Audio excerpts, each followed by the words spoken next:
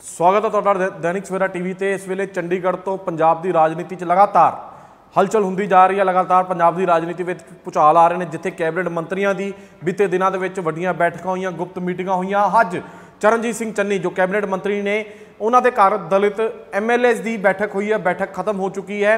ਇਸ ਬੈਠਕ ਦੇ ਵਿੱਚ ਤਮਾਮ ਜਿਹੜੇ ਕਾਂਗਰਸ ਦੇ ਅ, ਦਲਿਤ ਐਮਐਲਏ ਸੀਗੇ ਵੱਡੇ ਚਿਹਰੇ ਜਿਹੜੇ ਵੱਡੇ ਐਮਐਲਏਸ ਨੇ ਅਰੁਣਾ ਚੌਧਰੀ ਕੈਬਨਿਟ ਮੰਤਰੀ ਉਹ ਵੀ ਮੌਜੂਦ ਰਹੇ। ਚਰਨਜੀਤ ਸਿੰਘ ਚੰਨੀ ਪਹਿਲਾਂ ਵੀ ਪੰਚਕੁਲਾ ਦੇ ਵਿੱਚ ਜਿਹੜੀ ਨਵਜੋਤ ਸਿੰਘ ਸਿੱਧੂ ਦੇ ਨਾਲ ਮੀਟਿੰਗ ਹੋਈ ਹੈ, ਕਿਹਾ ਜਾ ਰਿਹਾ ਉਹਦੇ ਵਿੱਚ ਵੀ ਮੌਜੂਦ ਸੀਗੇ ਕੱਲ ਸੁਖਜਿੰਦਰ ਰੰਧਾਵਾ ਦੇ ਘਰ ਜਿਹੜੀ ਬੈਠਕ ਹੋਈ ਹੈ, ਉਸ ਵਿੱਚ ਵੀ ਚਰਨਜੀਤ ਸਿੰਘ ਚੰਨੀ ਮੌਜੂਦ ਸੀਗੇ। ਚਰਨਜੀਤ ਸਿੰਘ ਚੰਨੀ ਕੈਬਨਿਟ ਮੀਟਿੰਗ ਜਦੋਂ ਲਾਸਟ ਹੋਈ ਸੀਗੀ, ਉਹਦੇ ਵਿੱਚ ਵੀ ਕੈਪਟਨ ਅਮਰਿੰਦਰ ਸਿੰਘ ਔਰ ਚਰਨਜੀਤ ਸਿੰਘ ਚੰਨੀ ਦੇ ਵਿੱਚ ਡਾਇਲੋਗ ਹੋਏ ਸੀਗੇ। ਅੱਜ ਚਰਨਜੀਤ ਸਿੰਘ ਚੰਨੀ ਦੇ ਘਰ ਚੰਡੀਗੜ੍ਹ ਵਿਖੇ ਦਲਿਤਾਂ ਦੀ, ਦਲਿਤ ਐਮਐਲਏਸ ਦੀ, ਕਾਂਗਰਸ ਦੇ ਜਿਹੜੇ ਕੁਝ ਦਲਿਤ ਐਮਐਲਏਸ ਨੇ, ਉਹਨਾਂ ਦੀ ਬੈਠਕ ਹੋਈ ਔਰ ਬੈਠਕ ਖਤਮ ਹੋ ਚੁੱਕੀ ਹੈ। ਸਭ ਤੋਂ ਪਹਿਲਾਂ ਦੈਨਿਕ ਸਵੇਰਾ ਦੇ ਜ਼ਰੀਏ ਹੀ ਅਸੀਂ ਖਬਰ ਤੁਹਾਡੇ ਤੱਕ ਪਹੁੰਚਾਈ ਸੀਗੀ। ਮੇਰੇ ਸਹਿਯੋਗੀ ਰਵਿੰਦਰ ਮੀਤ ਮੇਰੇ ਨਾਲ ਜੁੜ ਚੁੱਕੇ ਨੇ।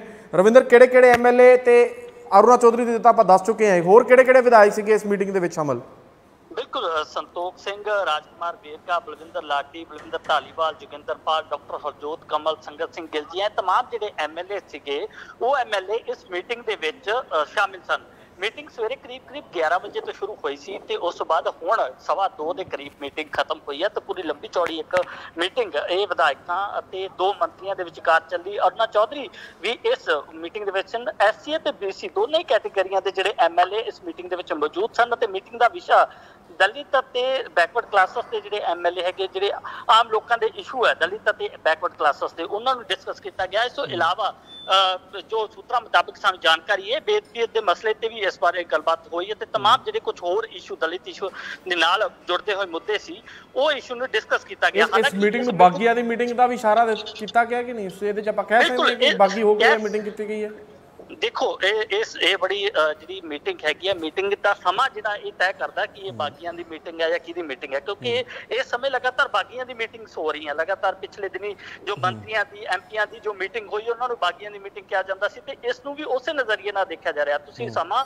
ਤੇ ਲੋਕੇਸ਼ਨ ਦੇਖੋ ਇਹੀ ਮੰਤਰੀ ਚਰਨਜੀਤ ਸਿੰਘ ਚੰਨੀ ਪਿਛਲੇ ਦਿਨੀ ਮੀਟਿੰਗ ਕਰਦੇ ਨੇ ਕੈਬਨਿਟ ਮੰਤਰੀ ਦੇ ਵਿੱਚ ਕੈਬਨਿਟ ਮੀਟਿੰਗ ਦੇ ਵਿੱਚ ਲਗਾਤਾਰ ਬੋਲਦੇ ਨੇ ਤਾਂ ਇਹਨਾਂ ਦੇ ਘਰ ਦੇ ਵਿੱਚ ਮੀਟਿੰਗ ਹੋਣਾ ਸਿੱਧੇ ਤੌਰ ਤੇ ਇਹ ਦਰਸਾਉਂਦਾ ਕਿ ਇਹ ਬਾਗੀਆਂ ਦੀ ਮੀਟਿੰਗ ਹੈਗੀ ਹੈ ਕਿਉਂਕਿ ਚੰਨੀ ਲਗਾਤਾਰ ਕੈਪਟਨ ਅਮਰਿੰਦਰ ਸਿੰਘ ਖਿਲਾਫ ਆਵਾਜ਼ ਚੱਕ ਰਹੇ ਨੇ ਤੇ ਮੀਟਿੰਗਾਂ ਵੀ ਕਰ ਰਹੇ ਨੇ।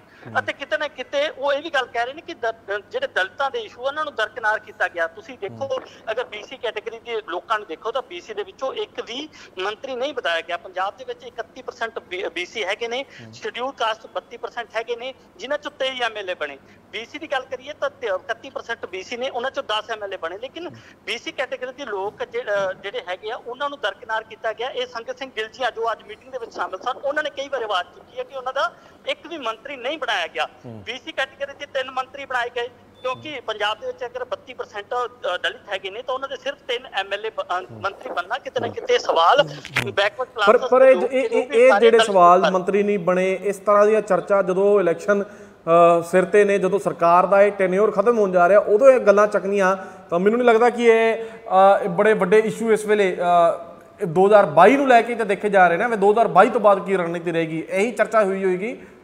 ਬਿਲਕੁਲ ਦੇਖੋ ਜਿਹੜੇ ਲਗਾਤਾਰ ਜਿਹੜਾ ਸਵਾਲ ਜਿਹੜਾ ਇਸ ਸਮੇਂ ਚੱਕਣਾ ਇਸ ਕਰਕੇ ਹੈ ਕਿ ਕੋਈ ਕੈਪਟਨ ਅਮਰਿੰਦਰ ਸਿੰਘ ਨੇ ਦਲਿਤ ਐਮਐਲ ਜੋ ਮੰਤਰੀ ਉਹ ਕੱਟ ਬਣਾਏ।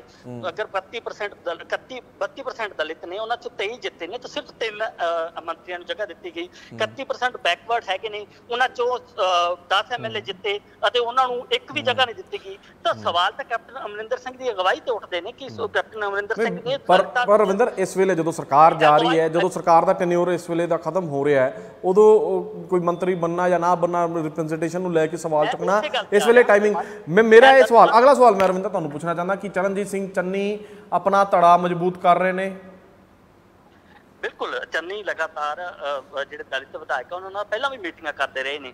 ਲਗਾਤਾਰ ਉਹ ਧੜਾ ਆਪਣਾ ਮਜ਼ਬੂਤ ਕਰਦੇ ਰਹੇ ਨੇ। ਹਾਲਾਂਕਿ ਦਲਿਤ ਡਿਪਟੀ ਸੀਐਮ ਦੀ ਆਵਾਜ਼ ਲਗਾਤਾਰ ਉੱਠਦੀ ਰਹੀ ਹੈ ਪੰਜਾਬ ਦੇ ਵਿੱਚ ਕਿ ਪੰਜਾਬ ਦੇ ਵਿੱਚ ਦਲਿਤ ਸੀਐਮ ਹੋਣਾ ਚਾਹੀਦਾ ਲੇਕਿਨ ਕਾਂਗਰਸ ਵੱਲੋਂ ਬਣਾਇਆ ਨਹੀਂ ਗਿਆ। ਮੈਂ ਉਸੇ ਸਵਾਲ ਤੇ ਫੇਰ ਆਉਣਾ ਕਿ ਆਖਿਰਕਾਰ ਹੁਣ ਇਹ ਸਵਾਲ ਕਿਉਂ ਉੱਠਿਆ? ਇਹ ਸਵਾਲ ਹੁਣ ਕਰਕੇ ਇਸ ਕਰਕੇ ਉੱਠਿਆ ਕਿਉਂਕਿ ਪਹਿਲੀ ਜਿਹੜੀ ਇਸ ਟਨਿਓਰ ਦੇ ਵਿੱਚ ਅਗਰ ਦਲਿਤਾਂ ਨੂੰ ਤੇ ਬੈਕਵਰਡ ਨੂੰ ਸਥਾਨ ਨਹੀਂ ਦਿੱਤਾ ਗਿਆ ਅਗਲੀ ਸਰਕਾਰ ਦੇ ਵਿੱਚ ਅਗਲੀ ਅਗਵਾਈ ਦੇ ਵਿੱਚ ਕਿਹੜਾ ਐਸਾ ਚਿਹਰਾ ਅੱਗੇ ਲਿਆਂਦਾ ਜਾਵੇ ਕਿ ਦਲਿਤਾਂ ਨੂੰ ਅਤੇ ਬੈਕਵਰਡ ਕਲਾਸਸ ਨੂੰ ਅੱਗੇ ਲਿਆਂਦਾ ਜਾਵੇ ਜ਼ਿਆਦਾ ਉਹਨਾਂ ਦੇ ਮੰਤਰੀ ਬਣਾਏ ਜਾਣ ਕਿਉਂਕਿ ਉਹਨਾਂ ਦੀ ਗਿਣਤੀ ਜਿਹੜੀ ਜ਼ਿਆਦਾ ਹੈਗੀ ਹੈ ਪੰਜਾਬ ਦੇ ਵਿੱਚ। ਤਾਂ ਇਸ ਕਰਕੇ ਅਗਲੀ ਅਗਵਾਈ ਨੂੰ ਵੇਖਦੇ ਹੋਏ ਇਹ ਮੀਟਿੰਗਾਂ ਚੱਲਦੀਆਂ ਕਿਉਂਕਿ ਪਿਛਲੇ ਟਨਿਓਰ ਤਾਂ ਆਲਰੇਡੀ ਸਾਢੇ ਸਾਲ 4 ਸਾਲ ਨਿਕਲ ਚੁੱਕੇ ਨੇ। ਲੇਕਿਨ ਅਗਲੇ ਟਨਿਓਰ ਦੇ ਵਿੱਚ ਦਲਿਤਾਂ ਨੂੰ ਅਤੇ ਬੈਕਵਰਡ ਕਲਾਸਸ ਨੂੰ ਉਹ ਸਥਾਨ ਮਿਲ ਸਕੇ। ਉਹ ਸਥਾਨ ਕੌਣ ਦਵਾ ਸਕਦਾ ਹੈ? ਕੌਣ ਅਗਵਾਈ ਕਰ ਸਕਦਾ ਅਗਲੀ ਸਰਕਾਰ ਦੀ? ਤਾਂ ਉਸ ਨੂੰ ਲੈ ਕੇ ਕਿਤੇ ਨਾ ਕਿਤੇ ਚਰਚਾਵਾਂ ਅੱਜ ਜਿਹੜੀਆਂ ਹੋਰ ਚਰਨਜੀਤ ਸਿੰਘ। ਚੰਨੀ ਆਪਣੇ ਆਪ ਨੂੰ ਸੀਐਮ ਫੇਸ ਪੇਸ਼ ਕਰਨਾ ਚਾਹੁੰਦੇ ਹੋਣਗੇ ਇਸੇ ਕਰਕੇ ਇਹ ਇਹ ਧੜਾਬੰਦੀ ਜਾਂ ਆਪਣੀ ਤਾਕਤ ਦਿਖਾ ਰਹੇ ਨੇ ਅੱਜ ਕਾਂਗਰਸ ਦੇ ਅੰਦਰ ਹੀ ਤਾਂ ਬਿਲਕੁਲ ਕਿਉਂਕਿ ਪੰਜਾਬ ਦੇ ਵਿੱਚ ਸਰਕਾਰ ਬਣਾਉਣ 'ਚ ਦਲਿਤਾਂ ਦਾ ਬਹੁਤ ਵੱਡਾ ਰੋਲ ਹੁੰਦਾ ਲਗਾਤਾਰ ਦਲਿਤਾਂ ਵੱਲੋਂ ਆਵਾਜ਼ ਉਠਾਈ ਜਾਂਦੀ ਹੈ ਕਿ ਸਾਡਾ ਵੀ ਸੀਐਮ ਹੋਣਾ ਚਾਹੀਦਾ ਦਲਿਤ ਐਮਐਲਏ ਅਗਰ ਕੋਈ ਵੀ ਵਿਅਕਤੀ ਕਾਉਂਸਲਰ ਖੜਾ ਹੁੰਦਾ ਤਾਂ ਉਸ ਨੂੰ ਕਾਉਂਸਲਰ ਜਿੱਦਾਂ ਤਾਂ ਉਹਨੂੰ ਐਮਐਲਏ ਬਣਨ ਦੀ ਚਾਹ ਹੁੰਦੀ ਹੈ। ਜਦੋਂ ਐਮਐਲਏ ਬਣਦਾ ਉਹਨੂੰ ਮੰਤਰੀ ਬਣਨ ਦੀ ਚਾਹ ਹੁੰਦੀ ਹੈ। ਜਦੋਂ ਮੰਤਰੀ ਬਣਦਾ ਉਹਨੂੰ ਮੁੱਖ ਮੰਤਰੀ ਬਣਨ ਦੀ ਚਾਹ ਹੁੰਦੀ ਹੈ। ਤਾਂ ਹਮੇਸ਼ਾ ਜੋ ਐਮਐਲਏ ਤੋਂ ਬਾਅਦ ਮੰਤਰੀ ਬਣੇ ਨੇ ਮੰਤਰੀ ਤੋਂ ਬਾਅਦ ਮੁੱਖ ਮੰਤਰੀ ਦੀ ਚਾਹ ਵੀ ਰੱਖਦੇ ਨੇ। ਚਾਹੇ ਕੋਈ ਵੀ ਮੰਤਰੀ ਕਹੇ ਨਾ ਕਹੇ ਉਹ ਗੱਲ ਵੱਖਰੀ ਹੈ। ਲੇਕਿਨ ਚਾਹ ਅੰਦਰ ਸਭ ਦੇ ਹੁੰਦੀ ਹੈ ਕਿ ਮੈਂ ਵੀ ਕਦੇ ਮੁੱਖ ਮੰਤਰੀ ਬਣਾ ਹਾਲਾਂਕਿ ਉਹਨਾਂ ਦੀ ਕੈਪੇਬਿਲਿਟੀ ਹੁੰਦੀ ਹੈ ਨਹੀਂ ਹੁੰਦੀ ਉਹ ਗੱਲ ਵੱਖਰੀ ਹੁੰਦੀ ਲੇਕਿਨ ਚਾਹ ਅੰਦਰ ਹਮੇ- ਹਮੇਸ਼ਾ ਹਰ ਮੰਤਰੀ ਦੇ ਅੰਦਰ ਹੁੰਦੀ ਹੈ ਚਾਹੇ ਉਹ ਡਿਨਾਈ ਕਰੇ ਜਾਂ ਨਾ ਕਰੇ। ਤੇ ਇਹੋ ਜਿਹੀ ਚਾਹ ਮੈਨੂੰ ਲੱਗਦਾ ਚੰਨਜੀਤ ਚੰਨੀ ਵੀ ਰੱਖਦੇ ਆ ਮਨ ਦੇ ਵਿੱਚ ਕਿਉਂਕਿ ਦਲਿਤ ਚਿਹਰਾ ਹੈਗੇ ਨੇ ਲਗਾਤਾਰ ਜਿੱਤੇ ਆਏ ਨੇ ਬੜਾ ਕਲੀਅਰ ਮੈਂਡੇਟ ਉਹਨਾਂ ਨੂੰ ਮਿਲਦਾ ਆਇਆ ਹੁਣ ਤੱਕ। ਤਾਂ ਕਿਤੇ ਨਾ ਕਿਤੇ ਆਜ਼ਾਦ ਵੀ ਜਦੋਂ ਖੜੇ ਹੋਏ ਸੀ ਉਦੋਂ ਵੀ ਉਹ ਜਿੱਤ ਕੇ ਦਿਖਾਇਆ ਉਹਨਾਂ ਨੇ। ਤਾਂ ਕਿਤੇ ਨਾ ਕਿਤੇ ਮਨ 'ਚ ਉਹਨਾਂ ਦੇ ਵੀ ਚਾਹ ਹੈਗੀ ਆ। ਹਾਲਾਂਕਿ ਚਾਹ ਪੂਰੀ ਹੁੰਦੀ ਆ ਜਾਂ ਨਹੀਂ ਹੁੰਦੀ ਇਹ ਆਉਣ ਵਾਲਾ ਸਮਾਂ ਦੱਸੇਗਾ ਪਰ ਆਪਣੀ ਤਾਕਤ ਜ਼ਰੂਰ ਦਿਖਾ ਰਹੇ ਨੇ। ਬਿਲਕੁਲ ਰਵਿੰਦਰ ਜਾਣਕਾਰੀ ਦੇਣ ਲਈ ਧੰਨਵਾਦ। ਤੁਸੀਂ ਸਭ ਤੋਂ ਪਹਿਲਾਂ ਇਹ ਖਬਰ ਬ੍ਰੇਕ ਕੀਤੀ ਕਿ ਅੱਜ ਚਰਨਜੀਤ ਸਿੰਘ ਚੰਨੀ ਦੇ ਘਰ ਬੈਠਕ ਚੱਲ ਰਹੀ ਸੀਗੀ ਦਲਿਤ ਐਮਐਲਏਜ਼ ਔਰ ਬੀਸੀ ਐਮਐਸਏ ਬੀਸੀ ਭਾਈਚਾਰੇ ਨਾਲ ਜਿਹੜੇ ਸੰਬੰਧਿਤ ਐਮਐਲਏਜ਼ ਜਾਂ ਰਿਪਰੈਜ਼ੈਂਟੇਸ਼ਨ ਕਰ ਰਹੇ ਨੇ ਪੰਜਾਬ ਵਿਧਾਨ ਸਭਾ ਦੇ ਵਿੱਚ ਕਾਂਗਰਸ ਦੇ ਵੱਲੋਂ ਉਹਨਾਂ ਦੇ ਵਿੱਚੋਂ ਕੁਝ ਐਮਐਲਏਜ਼ ਦੀ ਅੱਜ ਬੈਠਕ ਚਰਨਜੀਤ ਸਿੰਘ ਚੰਨੀ ਦੇ ਘਰ ਹੋਈ ਇਸ ਬੈਠਕ ਦੇ ਵਿੱਚ ਔਰ ਕੈਬਨਿਟ ਮੰਤਰੀ ਅਰੁਣਾ ਚੌਧਰੀ ਵੀ ਮੌਜੂਦ ਸੀਗੇ 11 ਵਜੇ ਦੇ ਕਰੀਬ ਇਹ ਬੈਠਕ ਸ਼ੁਰੂ ਹੋਈ ਸੀਗੀ ਸਵਾ ਦੋ ਵਜੇ ਦੇ ਕਰੀਬ ਇਹ ਬੈਠਕ ਜਿਹੜੀ ਹੈ ਖਤਮ ਹੋ ਚੁੱਕੀ ਹੈ ਹੁਣ ਇਹਦੇ ਵਿੱਚੋਂ ਜਿਹੜੇ ਐਮਐਲਏ ਸੀਗੇ तमाम ਜਿਹੜੇ ਉੱਥੇ ਪਹੁੰਚੇ ਹੋਏ ਸੀਗੇ ਜਿਨ੍ਹਾਂ ਨੇ ਅ, ਕਰੀਬ 3 ਘੰਟੇ ਬੈਠਕ ਦੇ ਵਿੱਚ ਹਿੱਸਾ ਲਿਆ ਉਹ ਸਾਰੇ ਹੀ ਉੱਥੋਂ ਜਾ ਚੁੱਕੇ ਨੇ ਸਾਡੇ ਸਹਿਯੋਗੀ ਸੁਸ਼ੀਲ ਗਰਚਾ ਵੀ ਇਸ ਵੇਲੇ ਚਰਨਜੀਤ ਸਿੰਘ ਚੰਨੀ ਦੇ ਘਰ ਦੇ ਬਾਹਰ ਮੌਜੂਦ ਨੇ। ਚਰਨਜੀਤ ਸਿੰਘ ਚੰਨੀ ਦੇ ਘਰ ਦੇ ਬਾਹਰ ਦੀਆਂ ਤਸਵੀਰਾਂ ਵੀ ਆਪਾਂ ਤੁਹਾਨੂੰ ਵਿਖਾਉਂਦੇ ਹਾਂ। ਬਾਹਰ ਚਰਨਜੀਤ ਸਿੰਘ ਚੰਨੀ ਦੇ ਕੁਝ ਦੇਰ ਪਹਿਲਾਂ ਘਰ ਦੇ ਬਾਹਰ ਕਿਸ ਤਰ੍ਹਾਂ ਗੱਡੀਆਂ ਜਿਹੜੀਆਂ ਨੇ ਵਿਧਾਇਕਾਂ ਦੀਆਂ ਅੰਦਰ ਜਾ ਰਹੀਆਂ ਸੀਗੀਆਂ, ਉਹ ਤਸਵੀਰਾਂ ਤੁਸੀਂ ਦੇਖ ਰਹੇ ਹੋ ਇਸ ਵੇਲੇ। ਮੇਰੇ ਨਾਲ ਮੇਰੇ ਸਹਿਯੋਗੀ ਸੁਸ਼ੀਲ ਗਰਚਾ ਜੁੜ ਚੁੱਕੇ ਨੇ। ਸੁਸ਼ੀਲ ਬੈਠਕ ਖਤਮ ਹੋ ਚੁੱਕੀ ਹੈ। ਸਾਰੇ ਹੀ ਵਿਧਾਇਕ ਨਿਕਲ ਚੁੱਕੇ ਨੇ ਔਰ ਕਿਹੜੇ ਕਿਹੜੇ ਵਿਧਾਇਕਾਂ ਨੂੰ ਤੁਸੀਂ ਆਪਣਾ, ਆਪਣੀ ਅੱਖਾਂ ਨਾਲੋਂ ਜਾਂ ਆਪਣੇ ਕੈਮਰੇ ਦੇ ਵਿੱਚ ਕੈਪਚਰ ਕੀਤਾ? ਚਰਨਜੀਤ ਚੰਨੀ ਦੇ ਘਰੋਂ ਨਿਕਲਦੇ ਹੋਇਆ। ਜੀ ਰਿਮਸ਼ੂ ਇਹ ਬੈਠਕ ਖਤਮ ਹੋ ਚੁੱਕੀ ਹੈ ਤਕਰੀਬਨ 5-6 ਮਿੰਟ ਹੋ ਚੁੱਕੇ ਨੇ ਤੇ ਅਸੀਂ ਇਸ ਵਕਤ ਜਿਹੜੇ ਨਿਕਲ ਕੇ ਗਏ ਨੇ ਉਹਨਾਂ ਦੇ ਵਿੱਚ ਅਰਨਾ ਚੌਧਰੀ ਮੈਡਮ ਗਏ ਹੈਗੇ ਨੇ ਤੇ ਉਸ ਤੋਂ ਇਲਾਵਾ ਸੰਜੇ ਸਿੰਘ ਗਿਲਜੀਆਂ ਗਏ ਹੈਗੇ ਨੇ ਤੇ ਲਾਡੀ ਗਏ ਹੈਗੇ ਨੇ ਤੇ ਇਹ ਤਿੰਨ ਚਲੇ ਗਏ ਨੇ ਬਾਕੀ ਇੱਕ ਗੱਡੀ ਇਸ ਵਕਤ ਹੋਰ ਬਾਹਰ ਆ ਰਹੀ ਹੈਗੀ ਹੈ ਕੋਸ਼ਿਸ਼ ਕਰ ਰਹੇ ਨੇ ਕੈਮਰਾਮੈਨ ਜਿੰਨੇ ਵੀ ਹੈਗੇ ਨੇ ਮੀਡੀਆ ਵਾਲੇ ਜੋ ਕਿਸੇ ਨਾਲ ਗੱਲਬਾਤ ਕਰਨ ਪਰੰਤੂ ਗੱਲਬਾਤ ਕਰਨ ਵਾਸਤੇ ਕੋਈ ਜ਼ਿਆਦਾ ਸ਼ਾਇਦ ਇਹਨਾਂ ਨੂੰ ਜ਼ਿਆਦਾ ਮਨਾ ਕੀਤਾ ਗਿਆ ਓਪਨ ਕੋਈ ਦਬਾਅ ਹੈਗਾ ਕੋਈ ਬੋਲ ਨਹੀਂ ਰਿਹਾ ਤੇ ਬਾਕੀ ਮੀਟਿੰਗ ਇਸ ਵਕਤ ਰਿਮਸ਼ੂ ਖਤਮ ਹੋ ਚੁੱਕੀ ਹੈਗੀ ਹੈ। ਇਹ- ਇਹਦਾ ਸਿੱਟਾ ਅਜੇ ਤੱਕ ਨਿਕਲ ਕੇ ਸਾਹਮਣੇ ਨਹੀਂ ਆਇਆ ਕਿ ਆਖਿਰ ਇਹਨਾਂ ਨੇ ਕਿਸ ਮਕਸਦ ਪਿੱਛੇ ਕੀਤੀ ਸੀ।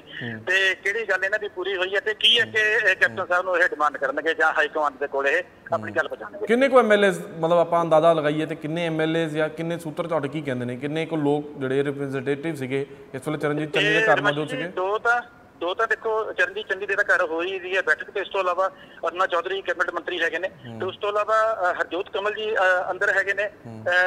ਆਪਣੇ ਬਲਵਿੰਦਰ ਲਾਡੀ ਹੋ ਗਏ ਤੇ ਉਸ ਤੋਂ ਇਲਾਵਾ ਜਿੰਨੇ ਵੀ ਅਸੀਂ ਹੈਗੇ ਨੇ ਗੱਲ ਕਰ ਰਹੇ ਸੀਗੇ, ਰਾਜਕੁਮਾਰ ਵੇਰਕਾ। ਰਾਜਕੁਮਾਰ ਵੇਰਕਾ ਵੀ ਅੰਦਰ ਹੀ ਨੇ ਉਹ ਅਜੇ ਬਾਹਰ ਨਹੀਂ ਨਿਕਲੇ ਰਾਜਕੁਮਾਰ ਵੇਰਕਾ ਅੰਦਰ ਹੀ ਨੇ ਸ਼ਾਇਦ। ਤੇ ਉਸ ਤੋਂ ਇਲਾਵਾ ਹੋਰ ਜਿਹੜੇ ਨਿਰਮਲ ਸਤਰਾਣਾ ਹੋ ਗਏ ਇਹ ਜਿਹੜੇ ਅਸੀਂ ਭਾਈਚਾਰੇ ਨਾਲ ਬੀਸੀ ਭਾਈਚਾਰੇ ਨਾਲ ਹੈਗੇ ਨੇ ਇਹ ਆਪਣੀ ਸ਼ਾਇਦ ਇੱਕ ਅਲੱਗ ਤਾਕਤ ਇਕੱਠੀ ਕਰ ਰਹੇ ਨੇ।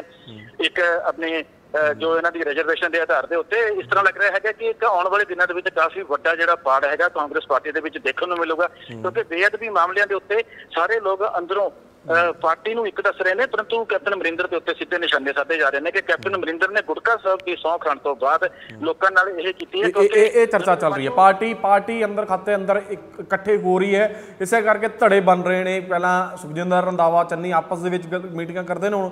ਹੁਣ ਚਰਨਜੀਤ ਸਿੰਘ ਚੰਨੀ ਐਮਐਲਏ ਦੇ ਨਾਲ ਮੀਟਿੰਗ ਕਰ ਰਹੇ ਨੇ।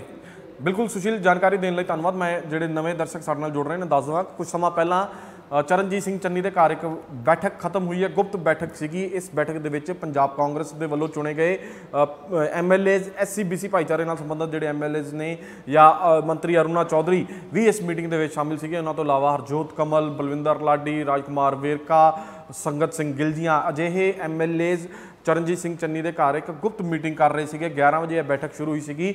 2 ਵਜੇ ਤੱਕ ਇਹ ਬੈਠਕ ਚੱਲਦੀ ਰਹੀ। ਕੱਲ ਵੀ ਸੁਖਜਿੰਦਰ ਰੰਧਾਵਾ ਦੇ ਘਰ ਬੈਠਕ ਹੋਈ। ਉਸ ਵਿੱਚ ਬੈਠਕ ਦੇ ਵਿੱਚ ਵੀ ਚਰਨਜੀਤ ਸਿੰਘ ਚੰਨੀ, ਗੁਰਪ੍ਰੀਤ ਕਾਂਗੜ, ਰਵਨੀਤ ਬਿੱਟੂ, ਪ੍ਰਤਾਪ ਸਿੰਘ ਬਾਜਵਾ ਵਰਗੇ ਵੱਡੇ ਨੇਤਾ ਪੰਜਾਬ ਕਾਂਗਰਸ ਦੇ ਮੌਜੂਦ ਸੀਗੇ। ਉਸ ਤੋਂ ਪਹਿਲਾਂ ਪੰਚਕੂਲਾ 'ਚ ਇੱਕ ਮੀਟਿੰਗ ਦੀ ਕੋ- ਚਰਚਾ ਹੋਈ। ਉਸ ਬੈਠਕ ਦੇ ਵਿੱਚ ਚਰਨਜੀਤ ਸਿੰਘ ਚੰਨੀ ਸੁਖਜਿੰਦਰ ਰੰਧਾਵਾ ਤੇ ਨਵਜੋਤ ਸਿੰਘ ਸਿੱਧੂ ਸ਼ਾਮਲ ਸੀਗੇ। ਤੇ ਇਸ ਤਰ੍ਹਾਂ ਧੜਾਬੰਦੀ ਬਣਦੀ ਜਾ ਰਹੀ ਹੈ। ਲਗਾਤਾਰ ਕਾਂਗਰਸ ਦੀ ਜਿਹੜੀ ਅੰਦਰੂਨੀ ਫੁੱਟ ਹੈ, ਉਹ ਲਗਾਤਾਰ ਵੱਧਦੀ ਜਾ ਰਹੀ ਹੈ। ਹਜੇ ਕੰਟਰੋਲ ਡੈਮੇਜ ਕੰਟਰੋਲ ਜਿਹੜਾ ਹੈ ਪੰਜਾਬ ਕਾਂਗਰਸ ਦੇ ਵਿੱਚ ਉਹ ਨਹੀਂ ਹੋ ਪਾ ਰਿਹਾ। ਹਾਲਾਂਕਿ ਸੂਤਰ ਕਹਿੰਦੇ ਸੀਗੇ ਕਿ ਕੈਪਟਨ ਅਮਰਿੰਦਰ ਸਿੰਘ ਨੇ ਅੱਜ ਤਿੰਨ ਮੰਤਰੀਆਂ ਨੂੰ ਖੁਦ ਫੋਨ ਕੀਤੇ ਨੇ, ਉਹਨਾਂ ਦੇ ਮੀਡੀਆ ਐਡਵਾਈਜ਼ਰ ਨੇ ਉਹਨਾਂ ਦੇ ਭਾਰਤਿੰਦਰ ਸਿੰਘ ਚਾਲ, ਉਹ ਵੀ ਲਗਾਤਾਰ ਜਿਹੜੇ ਬਾਗੀ ਮੰਤਰੀ ਨੇ ਉਹਨਾਂ ਨਾਲ ਮੁਲਾਕਾਤ ਕਰ ਰਹੇ ਨੇ, ਮਨਾਉਣ ਦੀ ਕੋਸ਼ਿਸ਼ ਕਰ ਰਹੇ ਨੇ। ਖੁਦ ਕੈਪਟਨ ਅਮਰਿੰਦਰ ਸਿੰਘ ਨੇ ਵੀ ਫੋਨ ਤੇ ਗੱਲਬਾਤ ਕੀਤੀ, ਮਨਾਉਣ ਦੀ ਕੋਸ਼ਿਸ਼ ਕੀਤੀ। ਸੋਨੀਆ ਗਾਂਧੀ ਨੂੰ ਵੀ ਜੋ ਪੰਜਾਬ ਦੀ ਰਾਜਨੀਤੀ 'ਚ ਇਸ ਵੇਲੇ ਪੰਜਾਬ ਕਾਂਗਰਸ ਦੀ ਰਾਜਨੀਤੀ ਵਿੱਚ ਚੱਲ ਰਿਹਾ, ਉਹਦੇ ਬਾਰੇ ਜਾਣੂ ਕਰਾਇਆ ਸੋਨੀਆ ਗਾਂਧੀ ਨੂੰ ਵੀ ਔਰ ਇੰਟਰਵਿਊ ਕਰਨ ਲਈ ਵੀ ਕਿਹਾ ਹੋਏਗਾ।